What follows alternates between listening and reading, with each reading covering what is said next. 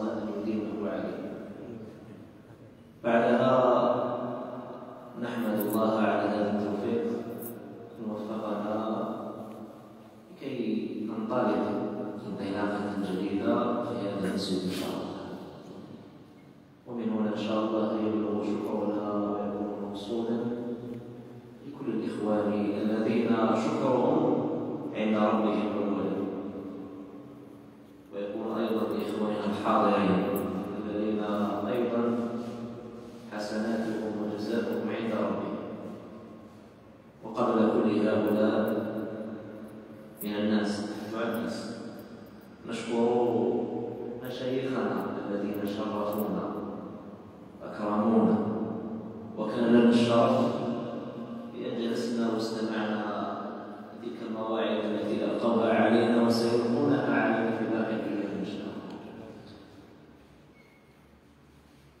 موضوعي في الأصل أنا اللي حدثنا بهذا أنا الشرف أن يكون بين المشايخ الوقع ويدعو موضوع اليوم إن شاء الله سيكون مرضا من أمراض القلوب وهذا المرض هو داء عضال مرض فتاك نقدر نقول لكم باللي هذا المرض كل إنسان في هذا ماشي مريض هذا المرض وإنما هناك من استطاع أن يتحكم في هذا وهناك من لم يستطع أن يتحكم فيه أو لم يستطع معالجته.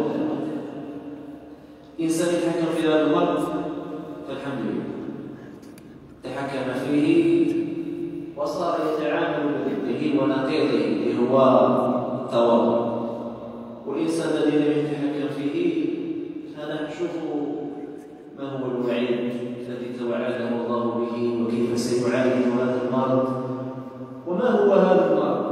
الكبر أنه شنو هو؟ قبل أن نتحدث عن الكبر قبل أن نوصل الكلام عنه. العلم كثرة تبحث في كتبهم ومؤلفاتهم وتبحث عن مرض الكبر تجد في هذا فصولا أبوابا كلهم في الكبر ماشي عالم ماشي ماشي داده ماشي إن دل فإنما يدل على أن هذا المرض مرض الخطر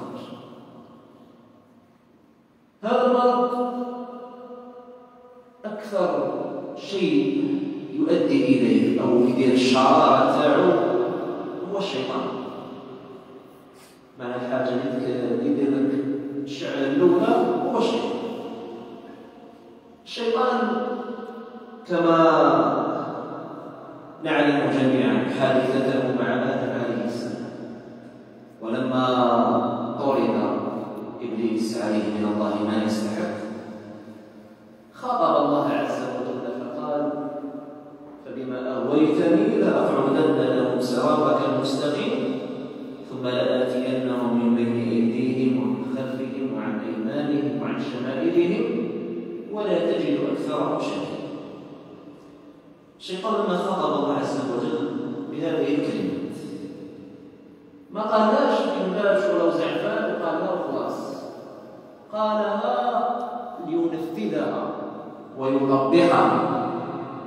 ويصرفنا عن عبادة ربنا قالوا لأقعدن له صراطك المستقيم ابن عباس وغيره من المفسرين والعلم قالوا أقعدن له صراطك المستقيم القائل على الشيء هو الإنسان الذي يلازم ذلك الشيء ما يخطيش ما يتركوش يقعد فيه دائما ما يخطيش وإبليس لما قال لأقعدن له صراطك المستقيم أي سألازم هذا الطريق الذي يوصل إليه مش لازم مش نحن لا ألازمه لأعوجه وأصرفهم عنه يقعدون في هذا الطريق باش يبعدهم عليه اشتاك الطريق وكاين أحيانا حاجز يصرفك إلى سبيل اخر الشيطان غير ذاك الحاجز باش ما تكملش تجي هذا الطريق ولو داير سبيل ولو داير سبل تبعد عن ذلك الطريق. فهنا هو ينفذ ذلك الوعد. وينفذ ما وعد به الله عز وجل. ثم قال ثم لآتينهم من بين أيديهم ومن خلفهم وعن أيمانهم وعن شمائلهم ولا تجد أكثرهم شاكرين أهل العلم شو أهل العلم؟ سبحان الله في القرآن قال ما قال قال من بين أيديهم عن المقدم وعن أيمانهم وعن شمائلهم ومن خلفهم وعلاش ما من فوقهم من تحتهم كانش من فوقهم واش بقاش من فوقهم قال لك لأنه من فوق وش يجي تتنزل رحمة الله. معنى لا يستطيع أن يقطع عليهم رحمة الله. قالوا بين أيديهم من خلفهم أيمانهم شمائلهم. هذا لا يقدر يطلعهم عليهم قاعد سبل. صح كاين سبيل لا يستطيع أن يقطع هذا السبيل شنو هو؟ رحمة الله التي تتنزل على قال قتل رحمة الله عليه وهو من التابعين ومن أهل العلم. قال أتاك الشيطان يا ابن آدم من كل وجه غير أنه لم يأتك من فوقك لم يستطع أن يحول بينك وبين رحمة الله. هو لو استطاع أن يمنع عنك رحمة الله لمنعها ولكنه لم يستطع أن يمنع عنك رحمة الله جل وعلا. أحد أهل العلم أيضا ذكر كلاما بليغا عن هذا الشيطان. حديث عن هذا الشيطان وعلاش أجدته لأنه أسباب المعاصي من غير النفس. أهم عامل شنو هو الشيطان. فإذا عرفنا عدونا وما يريد منا عدونا بعدها نقدر نعالج هذا أما أنا ما نعرفش العدو تاعي كيش نواجهه كيش نواجه الأمراض التي تصيبني إذا أنا ما شخصتش الفيروس هذا ما شخص الميكروب هذا. ما نعرفش كيش نعالجه أول ما نعالجه نعالج معاملتنا مع هذا اللعين عليه يستحق قال ما من صبح إلا قعد الشيطان لي على أربعة مراسم كل ما يطلع النار الشيطان يقعد على أربع جبال. من بين يدي ومن خلفي وعن يميني وعن شمالي. فيقول يبدأ فيقول الشيطان يقول لا تخف إن الله غفور رحيم. دير معاصي ما تخافش ربي غفور رحيم. فأقرأ فيقرأ وإني لغفار لمن تاب وآمن وعمل صالحا ثم من يغفر الله له من تاب وآمن وعمل صالحا ثم معناها مغفرة غير مطلقة تخص تخص بأشخاص دون آخر. قال وأما من خلفي بعد يجي الله فيخوفني بالضيعة على من أخلفه. معناه يخوفني أن يضيع الناس يراهم أولادي وأهلي ويراهم تحت مسؤوليته فأقرأ قوله تعالى وما من دابة إلا على الله رزقها. ثم يأتي من قبل يمينه يأتيني من قبل الشهوات فأقرأ قوله تعالى والعاقبة للفتن شهوة الزاد.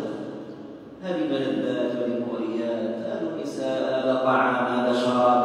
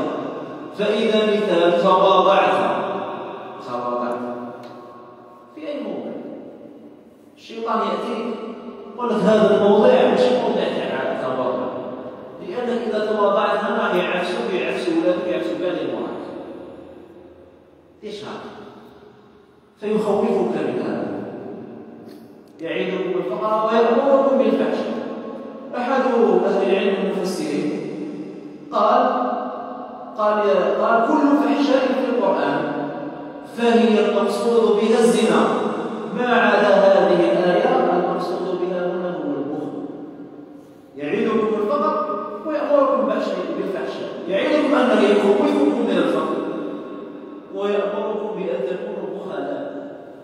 والله يعيدكم مغفرة منه وفضلا والله ذو الفضل حدث عن الشيطان نديروا بس ركبوا ولكن ننتقل الآن إلى الداء العظيم. هذا الداء في وشكو بزاف الوقت. وغالب حقت حكمت. لقيت بزاف الفوائد. تلفت لي ولقيت بزاف تاع أهل العلم خصوصا كاين امامان هذا الامامي داروا فوائد عظيمه في هذا الكتب وأنصحكم به. الأول تعرفون إمام ابن القيم الجوزيه رحمة الله عليه. ولو كتاب الفوائد تلقى كلام وشفتوا قريب قريب كلام تاعو كاين عالم آخر. ذكر أكثر من الامام ابن هذا عالم. ولا هذا الإمام هو الإمام الغزالي رحمة الله في كتابه إحياء علوم الدين هذا الامام الغزالي هنا البدايه كاين 50 صفحة تاع الامام الغزالي أنا لخصت خلاصتها ويزيد صح تقرا ما كاع تطالعوا عليها.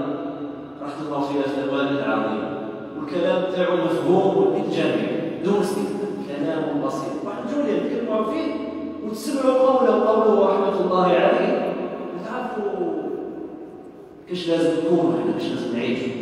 إمام ابن القيم رحمة الله عليه ذكر في كتاب آخر أو في أحد كتبه قال اركان الكفر أربعة. معنى الكفر يبنى على أربعة أسس. كي يكتب هذه الاسس أربعة يبنى يتبنى الكفر. هي الاركان الاربعه قال رحمة الله عليه. الكبر والحسد والغضب والشهوة. الكبر والحسد والغضب والشهوة. كي يجتمع هذا الربع في الإنسان؟ خلاص. هذا الإنسان خرج. يخرج تلقائيا من دائرة العبودية. من كونه عبدا. لله لأنه دقي فصل رحمة الله عليه. قال فالكبر يمنعه من الانقياد كما راح نشوفه بعد. أنواع الكبر. الكبر يمنع الإنسان من أن يكون متبعا منقادا ينقاد للاوامر يتكبر عن كل من يأمر وكل من ينصح قال والحسد يمنعه قبول النصيحة وبذلها لك كيف هذا الإنسان؟ نعطي النصيحة؟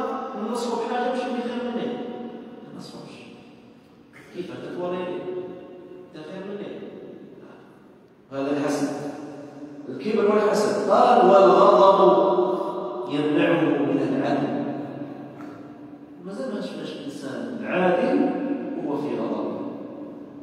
لا يستحيل أن يعدل انسان غضبان ثم قال والشهوه تمنعه من التفرغ بينه فكلما اتبع الإنسان الشهوات أخرجته شيئا فشيئا وأبعدته خطوة بخطوة عن العباد مش عن العباد عن كل أمر فيه خير في في دينه ودنياه هذا تبين بأنه هذا الاربعه قد نسميها بالاربع مهلكات؟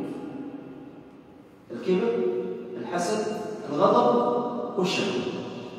قال فإذا انهدم ركن الكبر سهل الانقياد وإذا انهدم ركن الحسد سهل بذل النصيحة وقبولها.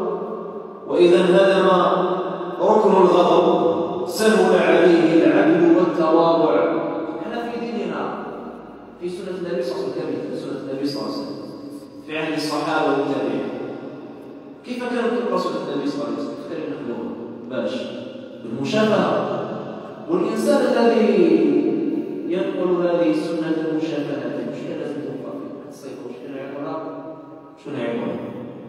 كما العدالة. إنسان غاضب يرغب دائما مقلق وزعفان هل يعقل أنه إنسان عادل يقول كمثال حديث النبي صلى الله عليه وسلم. ما هوش ناتج بحديث النبي صلى الله عليه وسلم الغضب تاعو الزعاف تاعو. فهذا إذا ذهب هذا الركن سهل عليه العدل والتوبة وإذا انهدم ركن الشهوة سهل عليه الصبر والعفاف والعبادة شوفوا في الشام حديث النبي صلى الله عليه وسلم يعجب الله من الشام اسمه صبوة أو نفل الشباب تلقاه طيحة وموضع خصوصا إذا كان أعزبا. تلقاه يطيح وعلاش؟ خفضوا الشهوات وراهو في فترات تاع الشهوات تكون كثيرة عليه دايرة بزاف. وهذا يصرفه عن حتى العبادة تلقاه بالك يضيع صلاة ويضيع أمورا من أجل شهوة دقيقة أو ساعة.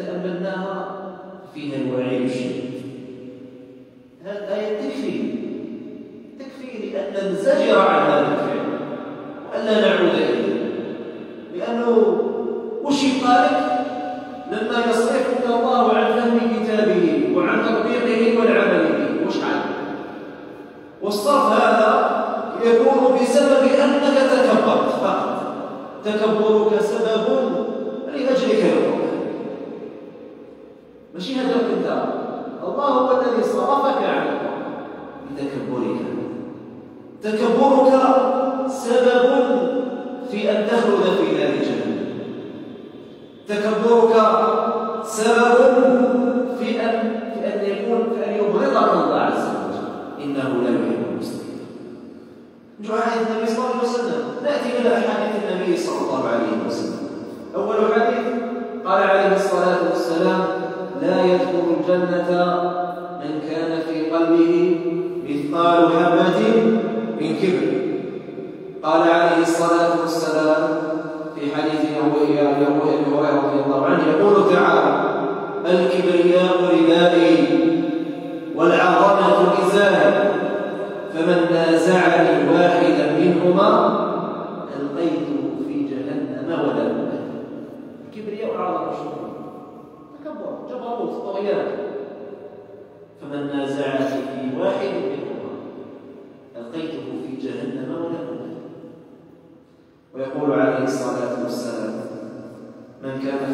فيه مثقال حبة من كبر أكبه الله في النار عاد وقال لا يزال الرجل يذهب بنفسه حتى يغتب في الجبارين فيصيبه ما أصابه من أحاديث كثيرة.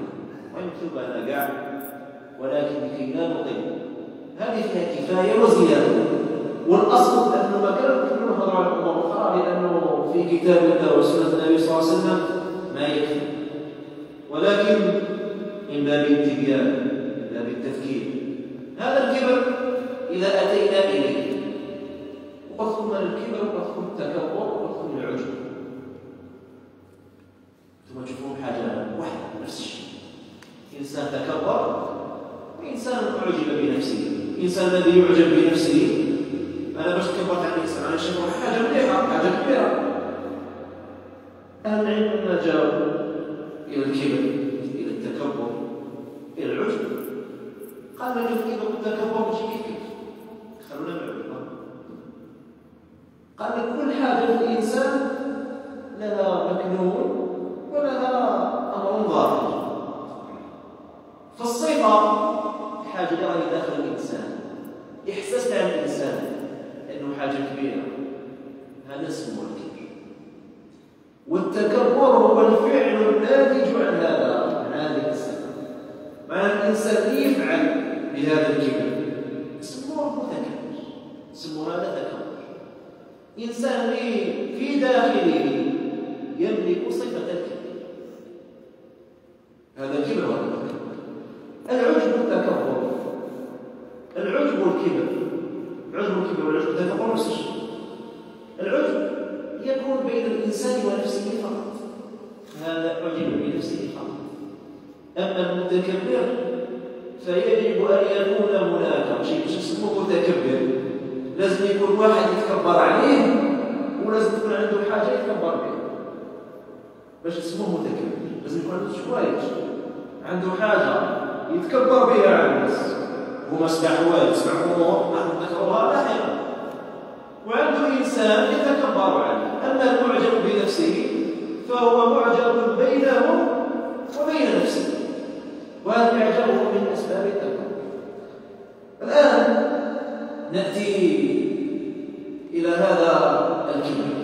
النبي صلى الله عليه وسلم في الحديث ذكرناه قبل قليل في قوله عليه الصلاة والسلام لا يدخل الجنة من كان في قلبه مثقال ذرة من كبر.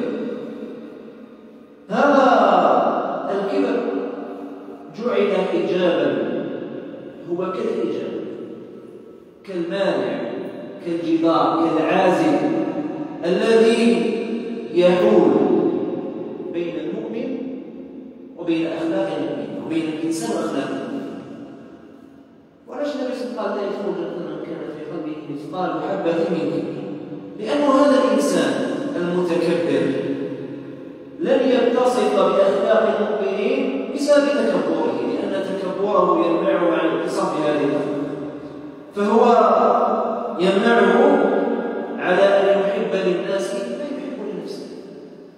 يتكبر عليهم يقول أنا نشوفك أقل مني. احب لك الخير. تدروني. ما عليك. ما نحوش عليك. فهذا يمنعه عن حب الخير للناس. بتكبره أيضا يمنعه عن التواضع للخلق. في حديث احاديث كثيرة من النبي صلى الله عليه وسلم. واخفض في آيات واخفض جناحك للمؤمنين حديث النبي صلى الله عليه وسلم. من تواضع لله رفعه. هذا التكبر هو سبب لكل خلق ذميم قد نذكره سواء كان كلام الغيب. سواء كان الحسد سواء كان قبول النصيحة. هذه قاع يمنع التكبر صاحبها من القيام لأنه إنسان متكبر عن خلق أو متكبر عن فهذا التكبر قال تعالى في كتابه سأصرف عن آياتي الذين يتكبرون في الأرض بغير هنا الله عز وجل يعد أنه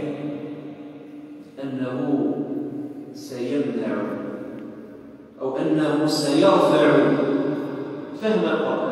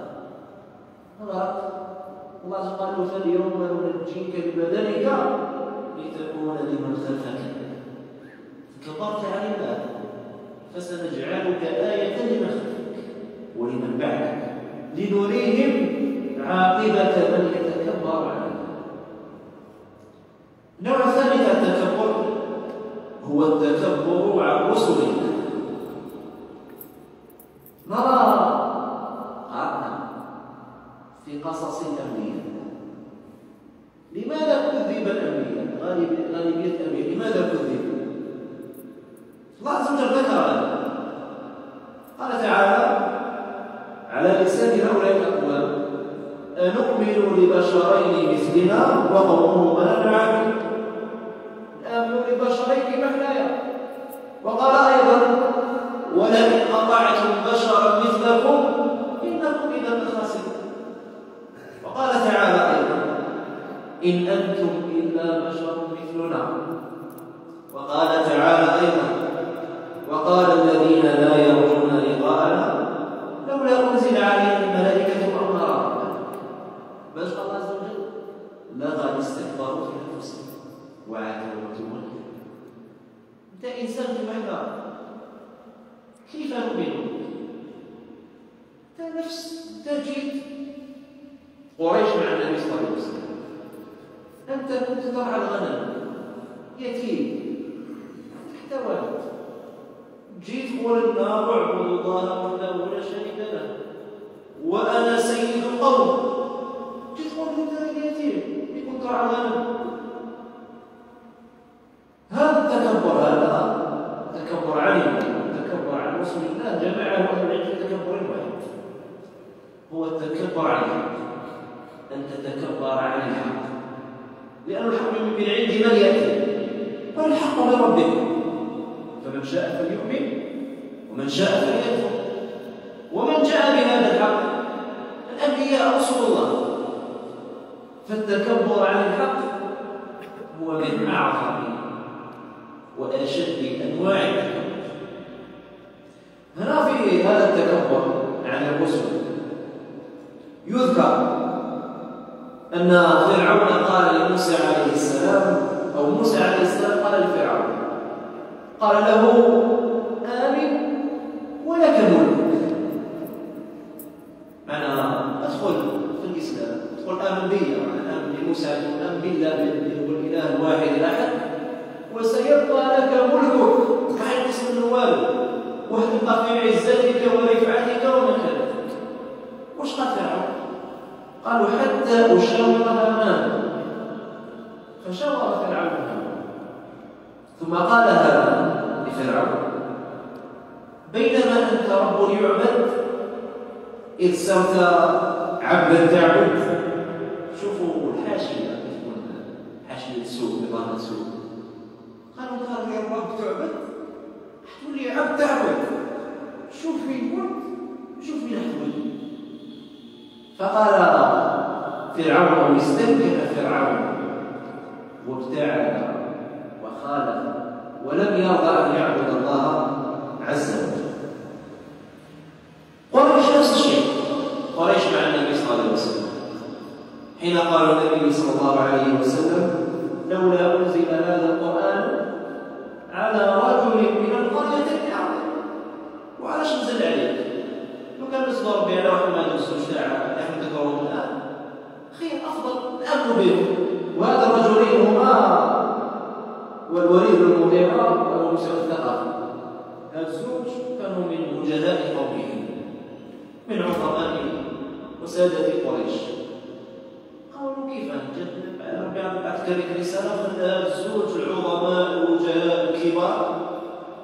ينزل القرآن تكبرا ماشي تكبرا عما أنزل عليه. تكبرا عن النبي صلى الله عليه وسلم. فهذا من أعظم أنواع التكبر. النوع الثالث من أنواع التكبر. ألا وهو التكبر على عباده هل قلنا التكبر على الله وعلى رسول الله. قلنا ما يسمى بالتكبر على الحق. معنى التكبر على عبادة.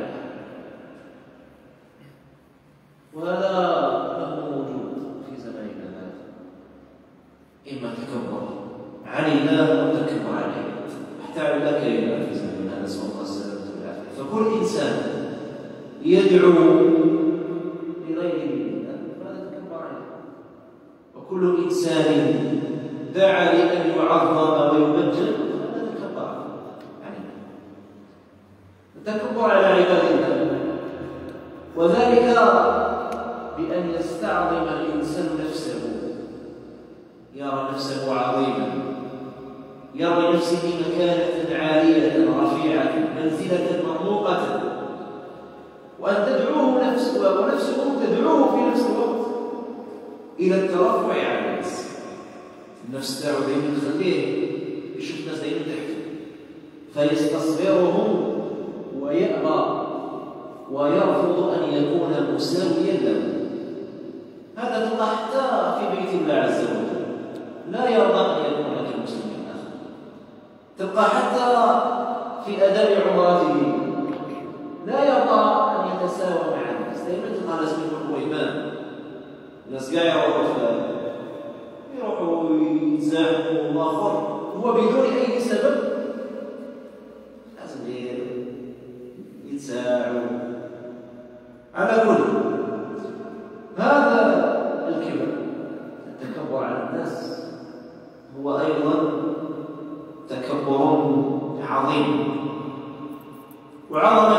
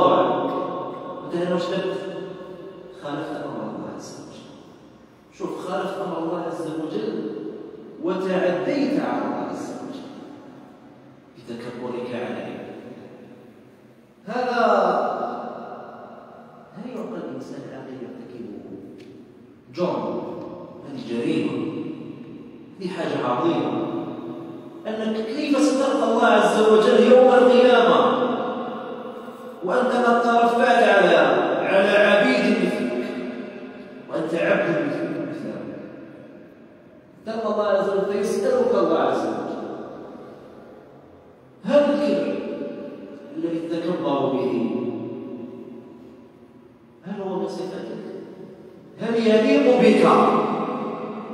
وأرجو أن تفهموا فيما بعد. أنت شكون؟ باش تكبر بصفتك من؟ ولي الأصل تاعك عد إلى أصلك وابحث في أصلك. وش هو الأصل تاعك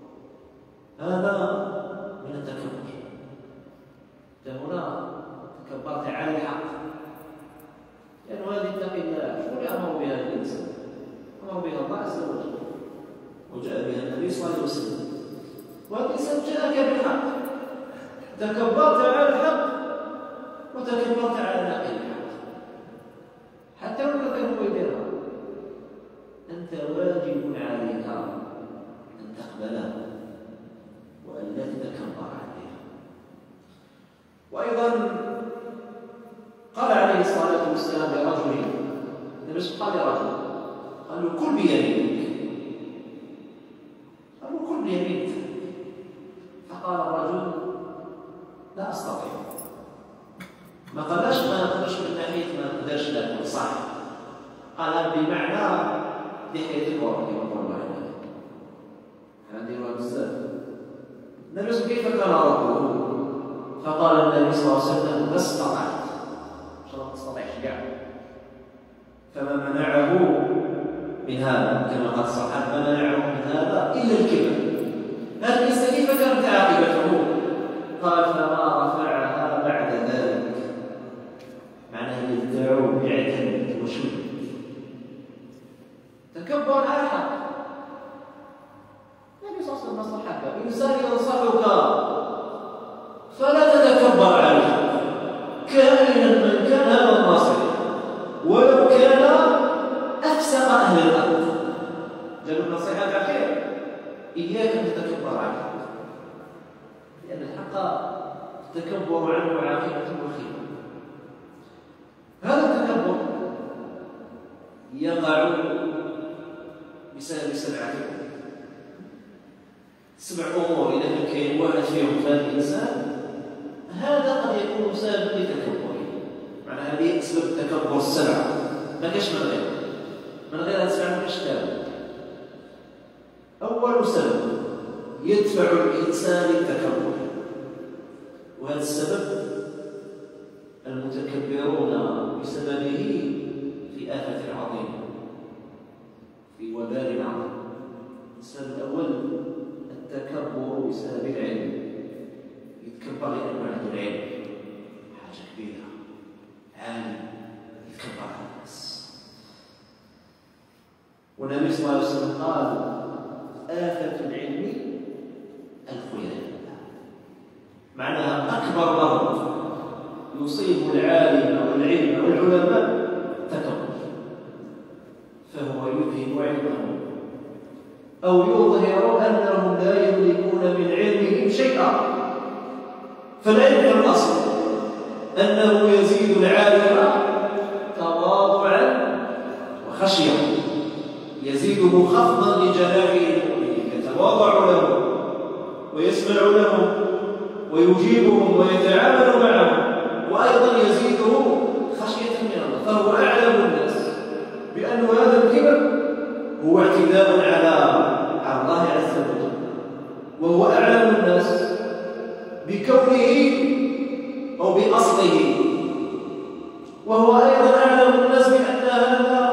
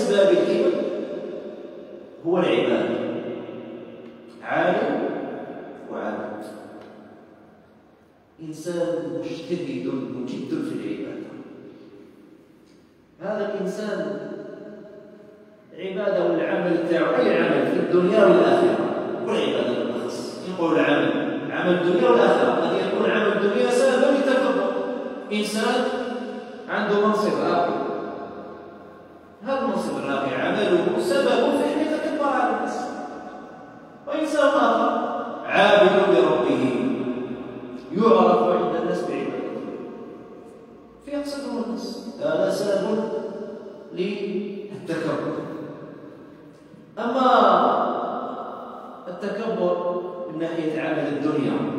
كيف يكون؟ يكون بأن هذا الإنسان يرى جميع الناس قدام الذي تروح جبريل تروح جبريل تروح حمدين اسمعنا باش معاه يعملون بهذه الطريقة هذا كمثال التكبر في الدنيا في أعمال الدنيا. والتكبر في أعمال الآخرة مثله مثل ذلك العالم الذي يرى الناس يعرف الله وهو في الجنة. نعم ربي نعم هم يظلوا مكسرين قدير ولا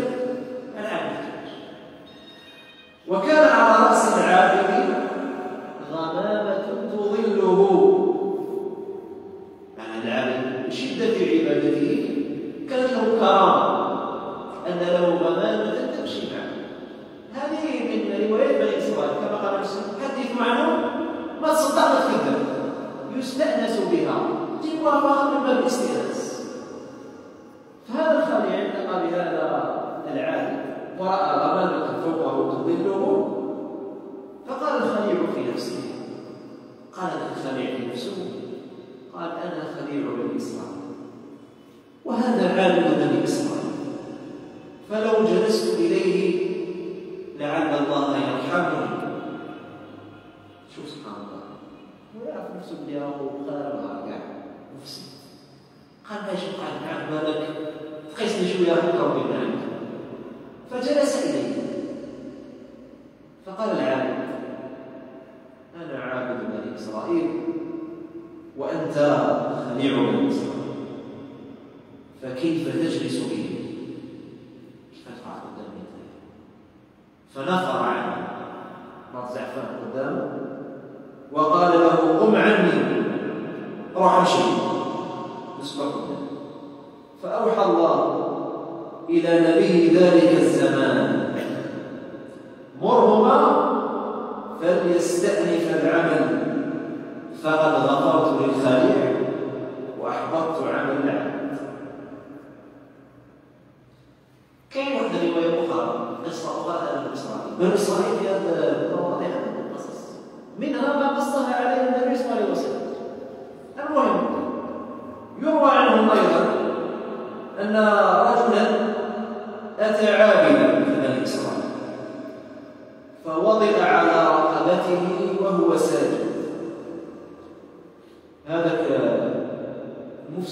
الساجد وجا العابد وعفش على ركبته وقال له ارفع فوالله لا يرفع الله حلف ان الله لن يرفع فاوحى الله اليه ايها المتألي بل انت لا يرفع الله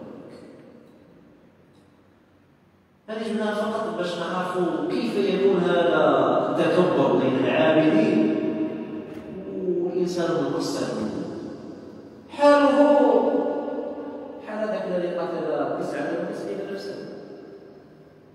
ذهب إلى ذلك العابد قال قد تعزين وش قالوا لا توبة لك عابد جاهل أنت عابد لست بعالم فبجهله كان سببا في موته على كل النوع الثالث أو السبب الثالث من أسباب التكبر قلنا السبب الأول شنو هو؟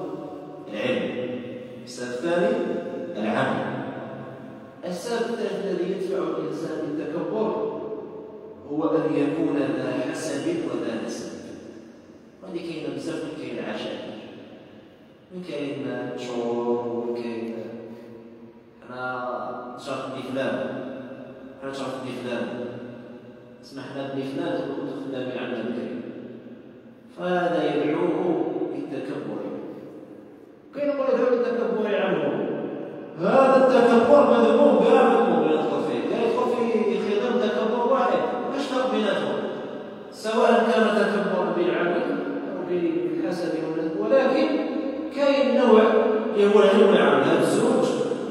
العلم أكثر. وأكثر أنواع التكبر خطا يعني هذا الإنسان يعلم يقين. والباقي لا في سواء وفي الخطا في الخطأ سواء النوع الرابع من أنواع التكبر. وهذا التكبر نجده كثيرا عند النساء. هذا السبب. سبب الجمال. التكبر بسبب الجمال فكيف كان النساء يحتاج شوف هذا. نيفو يهضر عليه وشتو كذا واخر ما يهضرش معاه لأنه عنده مشكل بنات في المجتمع وبنات في البنيه تاعو. فيستهزئون به ويسخرون منه ويتكبرون عليه. وهذه في الأصل الاخ في الرزاق لا يدعى مكتوب قال في وقتنا كانوا يسيرون التكبر. لو يأتي إلى زمننا هذا لوجد الرجال يتكبرون به أكثر من النساء نسأل الله السلامة والعافية. وهذا روي في حديث قد نعرفه ويعرفه كثير من حديث فوقع لعائشه رضي الله عنها. أن امراه أن امرأة دخلت على النبي صلى الله عليه وسلم. فقالت عائشة رضي الله عنها بيدها ولمحت إلى أن هذه المرأة قصيرة.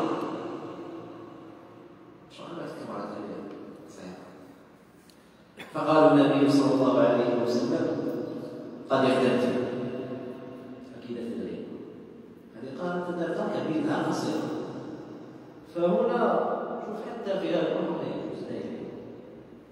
كنرجو لأفعالنا وواقعنا الله يسال الله السلامه والعافيه هذه الأمور ما عندهاش مخرج. كنرجو نحطوا الواقع تاعنا. نحطوا الشريعة. نحطهم في ميزان.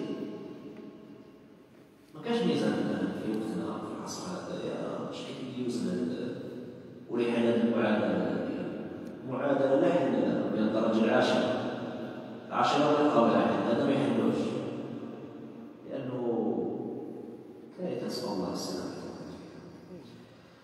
من أنواع ومن أيضا التكبر بالمال وحدث عنه التكبر بالمال. فيه ما ذكر في سورة الكهف. صاحب الجنة. قال لصاحبه وهو يحاوره أنا أكثر منك مالا. وأعز نفرا أعز ولدا حتى أجابه ذلك الرجل إن ترني أنا أقل منك مالا وولدا.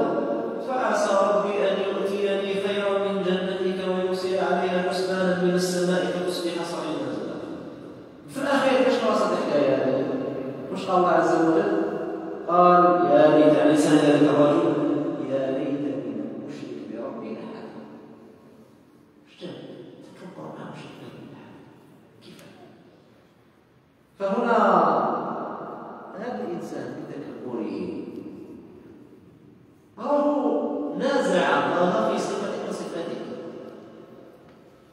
صار شريكا له أو حاب يولي شريكا له في تكبر في عظمته قالوا أنا أكثر منك مالا أنا عندي مال تكبر عنه ورأى نفسه أعظم منه والعظمة مجرد تكون من الله عز وجل فكان يريد مطاف من جنة تعورها ومن ذلك قصة قارون قارون لما رأى بنو إسرائيل ماله وما عنده قالوا يا ليت لنا مثل ما أوتي قارون إنه لذو حظ هو مش كان يمر عليه يمر عليه في في زينته كان يمر في كامل زينته متكبرا على الفقراء والمساكين كاش كان في النهايه تاعو فخسفنا به وبذلك السبب السادس من اسباب التكبر هو القوه والبطش فالانسان اذا حدد يجلد كراهيه يتكبر على الناس بقوته ويستصغره ويراهم ضعافا ميزانا شوفهم كاع قاطع فهذا الانسان كثير منهم كيف كانت بدايته كان بدايته بمرض عضال أسقطه على الفراش فلم يستطع ليده حركة. يدير واش قاطع سبعون أشهر هنا نعرف هنا نفهم الحاجة نفهم الأمر عظيم. يا أيها الإنسان ما غرك بربك الكريم؟ الله عز وجل خلقنا في أحسن صور وحنا الحمد لله كل واحد كيفاش أعطاك ربي قوة. هذه القوة يستخدمها في طاعة الله وإياك أن تمرك قوتك هل أنت أكثر قوة من قوم عاد؟ قوم عاد. كانوا ينحتون من الجبال بيوتا فارهين جبل ابن الله الجبل بنو فيها شحال من دار باش تخلص على التنحيت هما الجبل الجبل ينحت الجبل. جبل حجرة عظيمة يحكموا ينحت عظام عندهم بنية عظيمة وقوية كيف كانت نهايتهم؟ ريحا صرصر كأعجاز نخل منطعش يتعب بهم تديهم الجبل هنا هل ستغرك قوتك بعد هذا؟ طارتش لأنه شوف نفسك عرف تعدل يكبوش عرف شحال صغير شحال قيق القيق بزاف يكبوش تتعدل القوة تاعو واش دير بها تعرف اثنين لا ترى كاع اعصاب لا ترى عصب لك كارثه والله القوه تاعك القوه تكسر نفسك بالعصب أرنا شجاعتك ولكن الإنسان تغره قوته ويساعده في ذلك هو شنو؟ الشيطان يزيد يغره اسمع انت ما باش يختلف تهوى الوعي تهوى كذا فيزداد غرورا وطغيانا وتكبرا فتنتهي به السبب السابع من أسباب التكبر. التكبر بالأتباع والتلامذة والتكبر بالغلمان والعشيرة.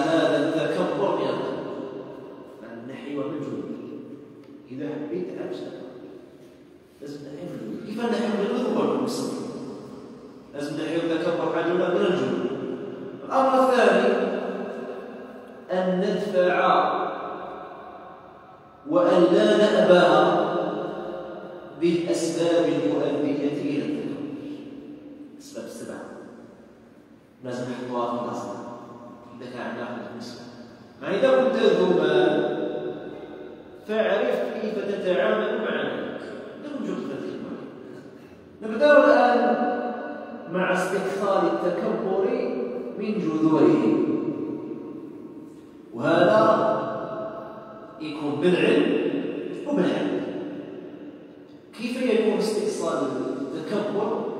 بالعلم. كيف نستأصل التكبر؟ حاجة الحاجة الأولى باش تنحي التكبر وتعالج هذا المرض يجب في الأمر الأول أن تعرف مرضك تعرف يقينا من هو الله وأن تعرف أيضا من أنت.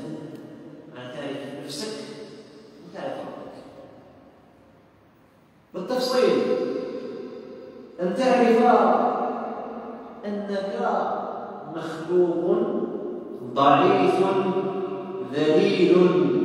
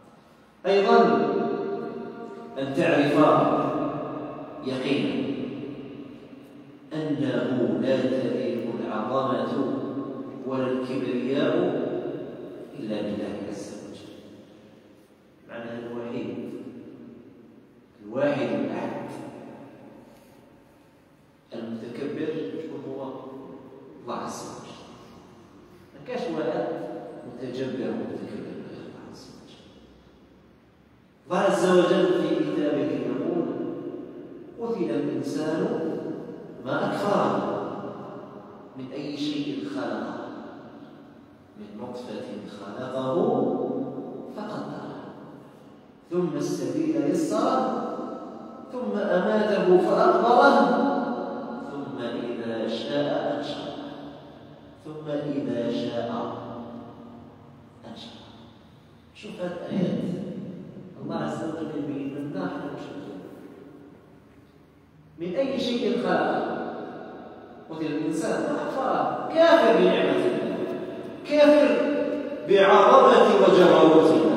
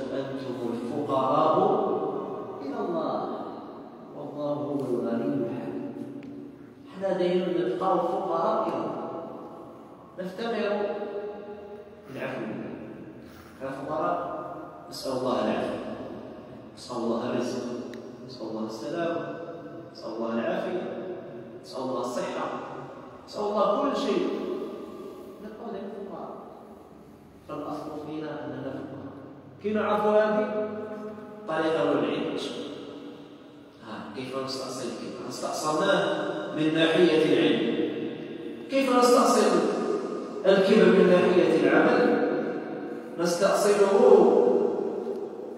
بالتواضع.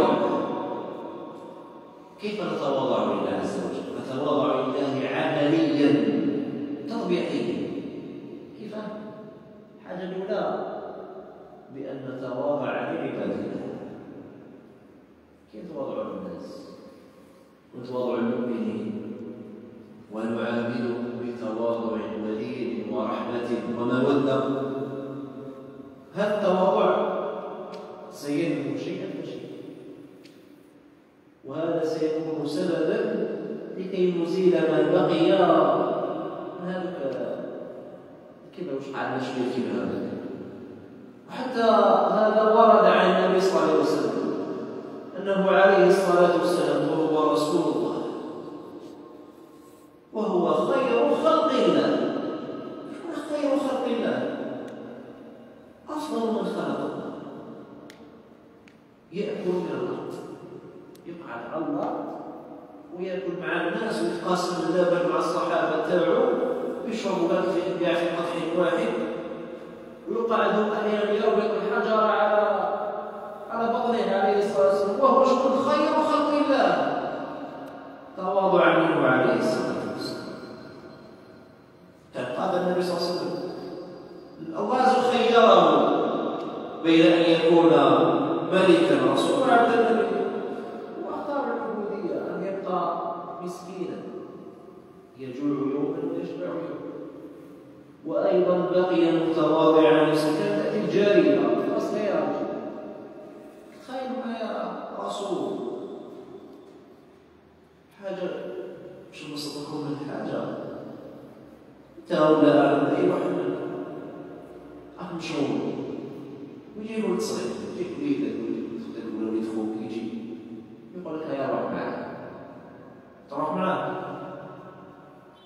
روح معاه هذه يقول روح مع مع كذا روح معاه خلاص لازم جات شدته وراحت راح وشي فما وشفته راح كاين تواضع كهذا تواضع النبي صلى الله عليه وسلم فمن اراد ان يذهب الكبر من أصوله فعليه اولا الجانب العلمي وش هو الجانب العلمي؟ شكون هذا الجانب العلمي؟ وش ذكرنا الآن؟ ها؟ معرفة أصل الإنسان معرفة مكانته وضعفه ومعرفة أنه أن الله عز وجل هو المتجبر المتكبر من جانب العملي التواضع لله والتواضع لعباده الآن كيف ننزع الكبر قلنا ننزعه بأن نتحكم في الأسباب التي ذكرناها سابقا نتحكم في العلم في العمل في المال في الحسد في النسب.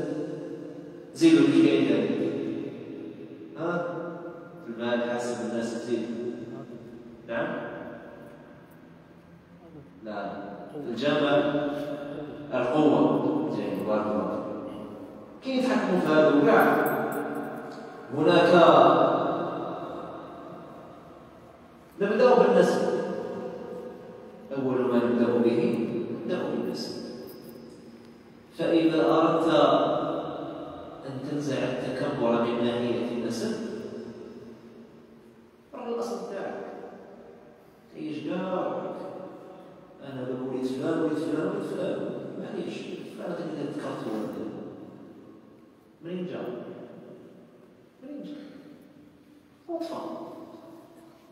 هذا كان نطفة قادرة معليش وجدي كبير وين راهو؟ وين راهو؟ جثة ماهوش جثة راهو عظام راهو ماشي عظام راهو يداس بالأقدام. ما الأصل تاعك الأصل تاعك الأصل تاعك كاع حبيت نحي التكبر تاع الناس الغاوية. جدي الكبير وتراب وهذا التراب يعكسوا عليه. وبابا الله يرحمه ولا جدي ولا وين وراه وش كان؟ كان هو نفس الشيء. كنت نطفة وراح نولي تراب وداسوا بالأقدام. معنى هذا النسب تاعك خبي في جيبك السبب الثاني التكبر بالجمال. والتكبر بالجمال دواؤه إذا شربت شباب بزاف شوف الجسم تاعك واش فيه فيه واش فيه واش تحمل زيد وزيد لا داعي نذكر الأمور. القادرة الموجودة في جسمنا. كاين بزاف امور قادره موجوده في جسمنا. لا تحسب فيها. هي في راه ما شباب يعني نشبع من برا مش عارف من داخل هذه هذا القول يديه علينا يسقط على هذا الامر إذا تحدثنا عن السبب الثالث